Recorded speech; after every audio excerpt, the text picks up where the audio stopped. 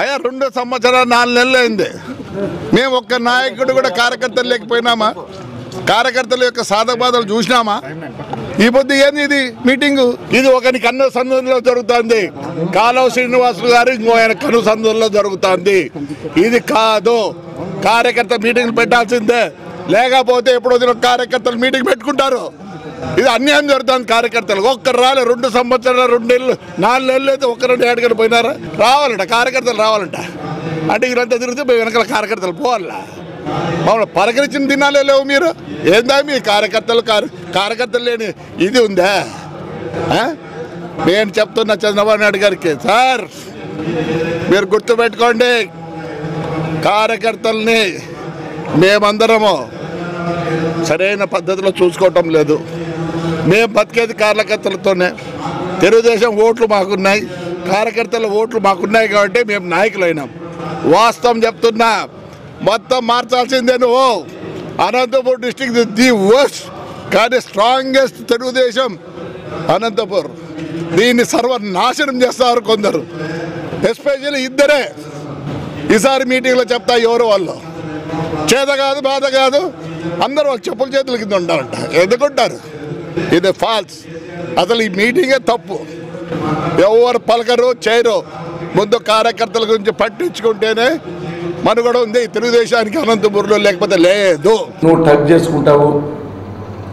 దొమ్మల వరకు టక్ చేసుకుంటావు అని వ్యక్తిగతంగా హేళనగా మాట్లాడడం జరిగింది.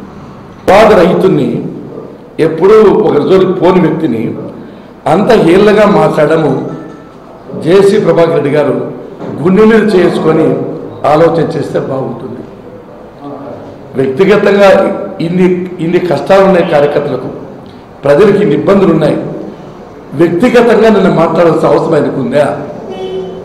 అది ఆయనే సమాధానం చెప్పాలి. ఆయన విఘ్నతకే దాన్ని వదిలిపెడుతున్నా. ఇది మొదటి ప్రశ్నకు సమాధానం. రెండవ ప్రశ్నకు నువ్వు సర్పంచులు పోటీ చేయించావా? ఒక్క సర్పంచునేనా ఈయన తెలిసి మాట్లాడతారా? తెలియక మాట్లాడతారా? పరిపక్వత ఉందా ఆలోచించి మాట్లాడతారా? నాకైతే అర్థం కాలేదు. పుట్టపర్తి నియోజకవర్గంలో డెబ్బై నాలుగు పంచాయతీ సర్పంచులకు పోటీ పెట్టాము. ఎక్కడా కాంప్రమైజ్ కాలే. డెబ్బై నాలుగు మంది అభ్యర్థులకు ఆర్థికంగా సాయం చేసిన ఏ ఒక్కరిని వదిలిపెట్ల సఫిషియెంట్గా మీకు వేదిక ద్వారా చెప్పకూడదు కాబట్టి మంచి అమౌంట్స్ ఇచ్చా. రాత్రిమూల కష్టపడ్డా. నా కుటుంబ సభ్యుల కంటే ఎక్కువగా భావించి క్యాన్వాస్ చేసిన పన్నెండు స్థానాలు గెలిచా. మీ తాలిపత్ర మాదిరి ఇరవై ఏడు రన్లు పోటీ పెట్టలే పెట్టలేకపోలేదు. ఇన్ని మాటలు చెప్పే మీరు ఇరవై ఏడు రన్లు ఎందుకు ఇనామస్ ఇచ్చారు? ఎందుకు పోటీ పెట్టలేకపోయారు? దానికి మీరు సమాధానం చెప్తే బాగుంటుంది. పార్టీ కార్యకర్తలకు న్యాయం చేశారా? అని ఒక క్వశ్చన్ అడిగాడు నాకు ఆశ్చర్యం వేసింది. తొంభై ఐదులో సెప్టెంబర్ ఐదో తేదీన తెలుగుదేశం పార్టీలో చేరా ఇప్పటికి దాదాపు ఇరవై ఆరు సంవత్సరాలు అవుతుంది. ఇరవై ఆరు సంవత్సరాలు. ఏ ఒక్కరోజు కూడా పక్క పార్టీ పక్క నేను చూడలే. వేరే పార్టీ నుంచి రాలే. మీ మాదిరి.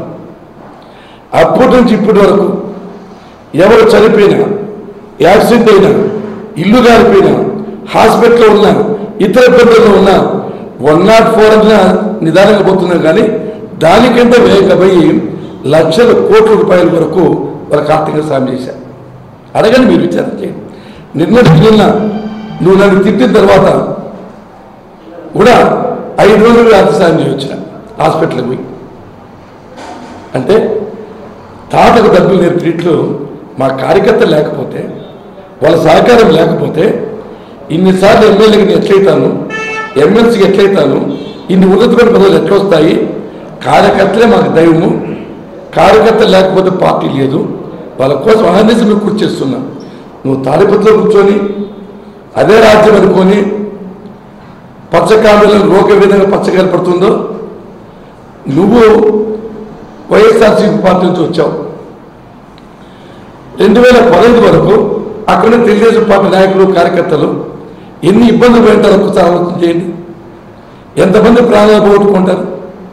ఎంతమంది కేసులు పెట్టుకుంటారు? అప్పుడు కార్యకర్త గుర్తుకు రాలేదా? మా కార్యకర్త రక్షించుకోవాల్సిన బాధ్యత మాకుంది. కష్టపడతాం. వాళ్ళ కోసం మేము ప్రాణాలు త్యాగం చేస్తాం. మాకు నీతి చెప్తే ఇది కరెక్ట్ అయిన పద్ధతి కూడా కాదు.